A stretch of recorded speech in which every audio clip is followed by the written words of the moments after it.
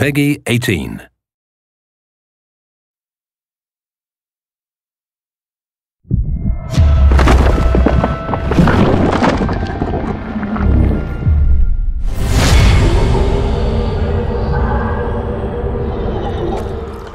Hi, I'm Gabrielle Shrager, Senior Story Director at Ubisoft Montpellier Studios, and I'm the lead writer on ZombiU. So let's talk story.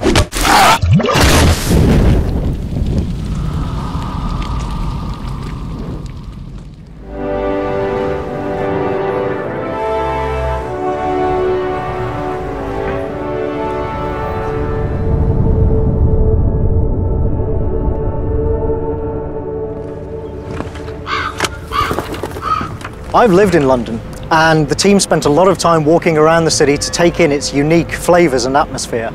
And what we've created from that is a kind of sublime vision of the city, a creepy, apocalyptic, hyper-real version of London where hell is just around the corner. Oh Lord our God, arise, scatter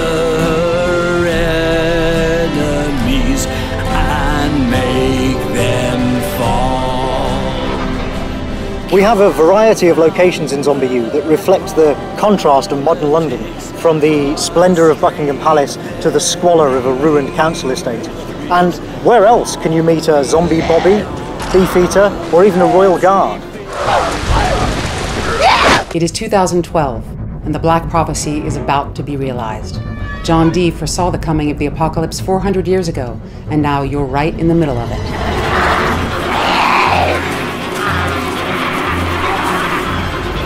Run if you want to live! In ZombiU, we have three main characters, each of whom has a different approach to survival and interpretation of John Dee's Black Prophecy. The Prepper is your mysterious guide and mentor, a survivalist who saw the apocalypse coming and prepared.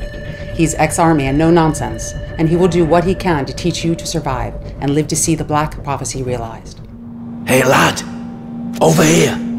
Come down into the station. Sandra is one of the leaders of the secret society known as the Ravens of Dee. They have spent centuries studying John Dee and the Black Prophecy, and their aim is to help as many survivors as they can escape from London. Sorry, that's all I can help with. I need to clear the other ramparts.